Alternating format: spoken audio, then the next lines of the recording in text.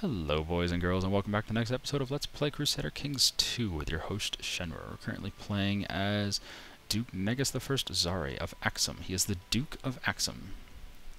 And uh, we last episode we got started, we got him married, which is good. We got his son married as well.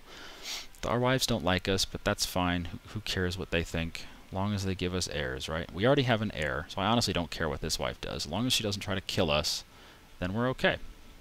And our son has a wife, so let's hope they start making babies quickly because we don't have any grandchildren. And you know, people people in this game can die young. I mean, I've had you know kids die at like four years old. So if that happens and you expect that person to grow up and be your heir, you're you're up shit creek because you need to have probably better off to have more than one you know heir on the way. Anyway, what I want to do in this episode is get a look over our kingdom. Well, not our kingdom, it's a duchy actually. Get a look over our duchy and see what we control, uh, what specifically we can put our little hands into and change directly, and things that we can't do. Because there's a lot of things we can't do. So this is our council view. You can see our chancellor, he kind of runs the, the duchy for us. Uh, the marshal, he's supposed to be training troops. I don't think he's doing that right now, but why don't we set him to train troops? And he has three things he can do. He can suppress revolts, he can research tech, or he can train troops. I want him to train troops in our capital. Our capital is represented by a, the flag of our uh, our family. Our chancellor can do, man, he's got a mohawk going on. Our chancellor can do diplomatic relations, fabricate claims, or sow dissent. Normally, what you do with your chancellor is you fabricate claims. Normally because it's the way you go to war. We have a, we have two ways to go to war right now because these two pieces of territory, Sennar and Haya, are considered part of the Duchy of Axum. So we can go to war to incorporate them into our Duchy of Axum. Uh, but another way you can go to war is to uh, create these claims on other people's territories. And all you do is you leave your chancellor there, and over a long enough period of time, he will generate a claim for you and you, you pay a certain amount of money, you lose prestige, and then you're able to present these papers as if they're real, and they will allow you to go to war, and if you win the war, you will gain that territory that you fabricated claims for. It's simple as that. But for now, since we're just getting started, I want him to improve relations with probably Shia Caliphate, because they're the ones who are closest to us, who are probably going to be our biggest pain in the side. So let's try to make them a little happier with us. Let's see, our steward. Um, I don't really want him to collect taxes because there's chances that things could go bad. See, peasants attack the steward is one of the possible outcomes. Not going to worry about that. Let's just research economy tech. Uh, spy master, he doesn't like us. It's okay. Uncover plots, build spy network, or study technology. Well, they're all good. I mean, there's nothing that he can do here that's bad. I think we're going to do uncover plots. Eh, just to make sure no one tries to kill us, like our wife. She, our wife's definitely going to try to kill us. Let me tell you that right now, because every game I've played, even if you have a wife who, li who likes you a lot, uh, she can still try to kill you. Court chaplain, head and inquisition. This is to uh, convert people, I think. County religion converted. Yeah. So this will convert people to whatever your religion is. And this guy is also monophysite, so he will convert them to that religion. Is there a religious overview? There is. So we can see everyone over here is monophysite. So why don't we send him... We probably can't send him out of our territory, can we? Let's see if we can. No, we can't. We can only send him in our territory. So, instead... Oh, have your court chaplain lead a religious delegation to discuss matters of faith with the local clergy.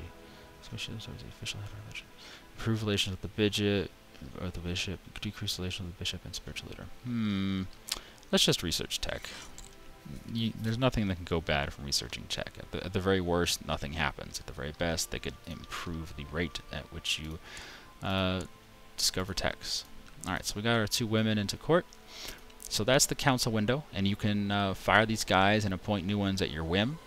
Just take note, anytime you fire any of them, they will lose opinion of you. So this guy's opinion is 9 if I fired him, because he sucks. 10 sucks. We could probably find a better one right now. Uh, that little icon. Nope, we don't have anyone better than that at diplomacy. Okay. But if we fired him, he would lose like 25 opinion of us. That's that's opinion of us. It goes up from plus 100 and down to negative 100. This guy's a little bit negative, but eh, whatever. Let's see, do we have any revolt risk? No. Uh, don't really need to see the dynasties. That's us, the Solomonids. Eh, opinions. Oh, they like us. These guys don't like us. So we're going to try to increase the opinion of these guys, the Shia Caliphate, because they're close to us, and I think we would lose in the war to them. But these guys, we could probably beat them in a war.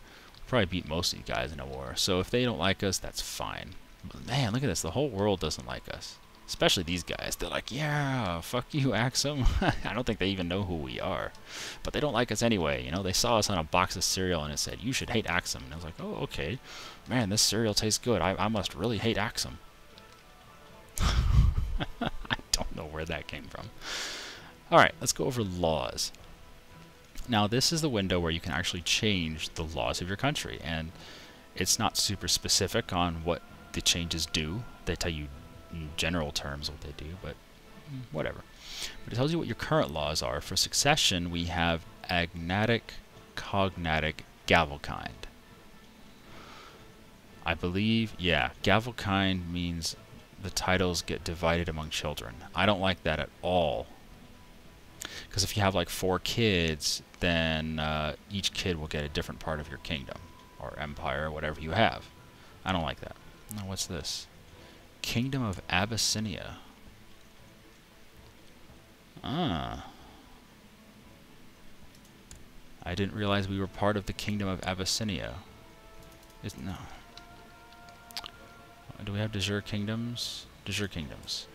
Okay, so because we're in a region that is considered part of the de jure kingdom of Abyssinia, even though there is no real, like, you know, even though they don't control us, apparently we still can Apparently we still are subject to their laws somehow. It's a little odd. That's what she said. Autonomous vassals. Well, I'm not going to worry about that.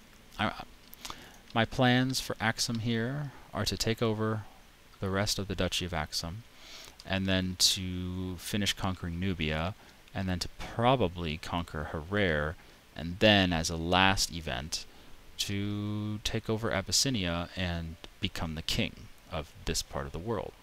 And then we'll look at taking over parts of this region and maybe attacking the Shia Caliphate. Maybe. I mean, goddamn, they're strong as hell. But, you know, it's worth a shot, man. It's worth a fucking shot. Oh no, profanity on the interwebs. Okay, so I don't like Gavelkind. In fact, I really hate Gavelkind. So I would love to change this as soon as possible. Either to seniority or primogeniture. I mean, even elective is fine. So Gavelkind, if you really want to read the text here, basically you have titles. If you have a kingdom and a duchy and a county, then your first son will get the kingdom. The second son will get the duchy, and the last son will get the county and any other sons will get whatever titles are left over. If there's none left over, they get nothing. So with Gavelkind, everything is distributed evenly. We have one son right now, so that means he gets all of it. That's fine. But the moment we have a second son, we'll run into succession problems, and I'd rather not have succession problems. So instead, I would like to choose elective. Now what elective does is everyone who is allowed to vote can vote and I'm the Duke, so I can vote. And if there's anyone below us, I don't think there is. No, we we own all this. So there's no one below us. But if there was anyone below us, then they would also get to vote. And there's always a possibility that someone would not choose the one that you want to win. But whatever. So we're going to do elective right now. Yes. There we go. Successor nomination. Nominate. Uh, I'm going to pick him. He's my son. There. He gets my vote. Unlanded sons. Following adult sons do not hold any lands. Yeah. Why don't you hold any lands? You you little bastard. We're going to give him some land. Uh, da, da, da, grant title. We're going to give him the county of Atbara.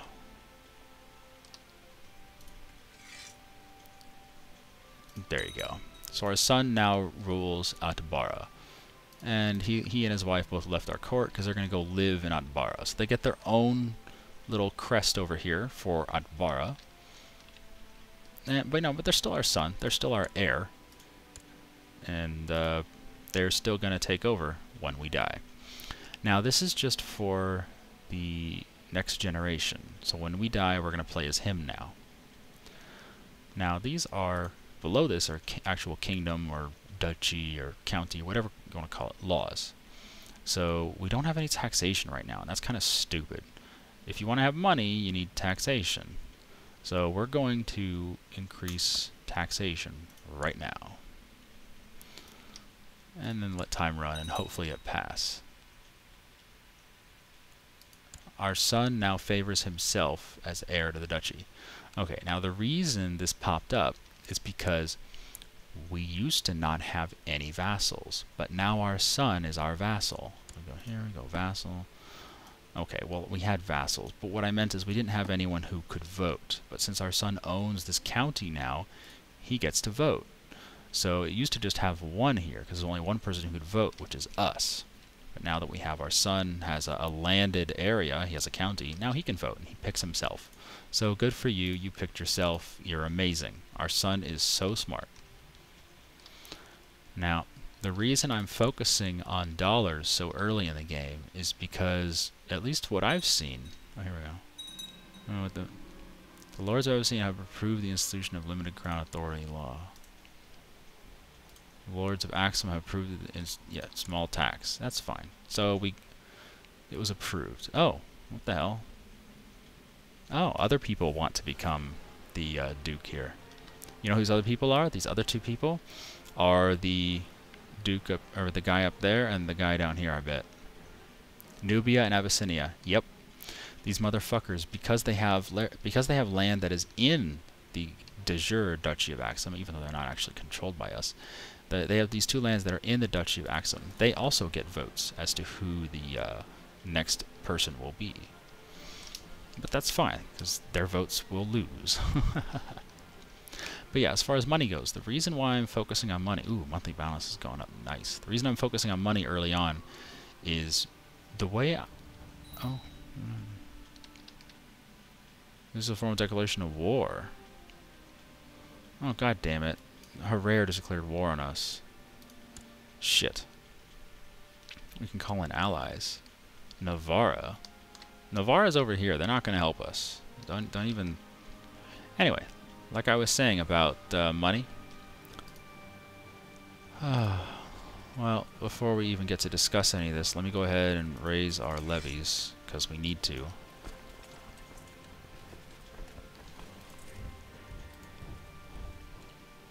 Money's important when it comes to war, because you can recruit mercenaries. And uh, mercenaries, here we go. Oh, we can't recruit any. Well, shit. Normally you can recruit mercenaries. They cost a lot of money, but man, are they worth it. So what is this guy doing? He's What is this war about? The Holy War for Axum. Oh, it's a holy war. Oh. I have not done any holy wars yet, so this will be interesting. I assume under holy wars that we can take lands a little more easily than uh, than normal. Like you don't have to have a claim or anything. You just take it because it's the wrong religion.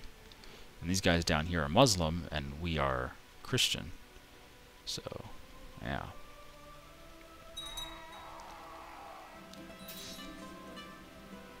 Wow, uh, our king died. Or not king, the duke. The duke died in battle.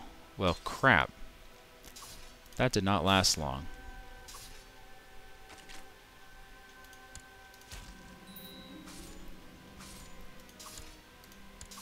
So we are now playing as a 17-year-old kid. Jeez. Oh man, this is not good.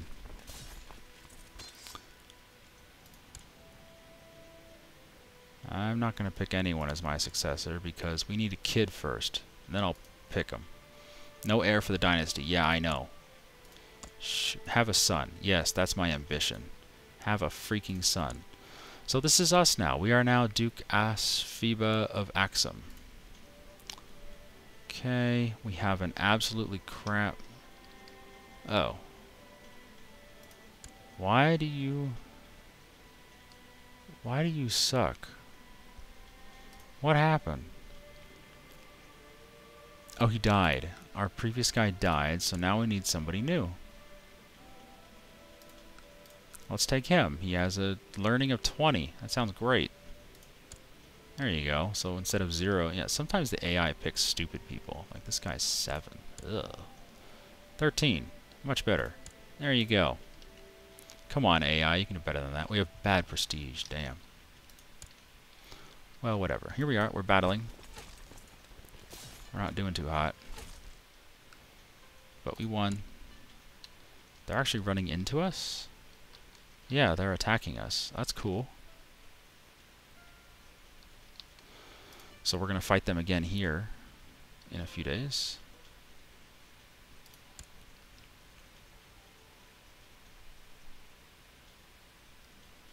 Says they'll arrive in June. Oh, what the hell's this? Offer to join a war.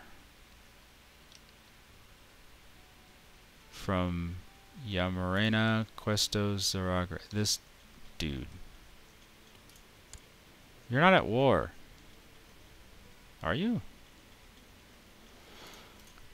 I don't know how to tell. I think it would tell us right here if he was at war. I don't think he's at war. So I think he's offering to join our war against this guy. But uh, I don't. I'm not sure it's necessary because we're probably gonna kick this guy's kick this guy's ass. I think our military is better. Uh, we'll just we'll let it ride. Oh shit, we're out of time. Thanks for watching, guys. Hope you enjoyed this episode today. Next time, we'll continue this war with Harar. These bastards attacked us, so they're gonna pay. We'll see what happens.